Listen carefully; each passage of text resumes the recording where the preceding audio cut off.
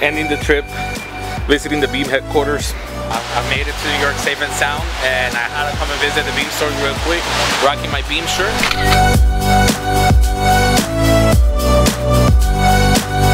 Casey, I made it to New York. Your ISO Yes. on auto or what? Yeah, no, You it's- just rack it down, please. It's a little bit zoom a little bit.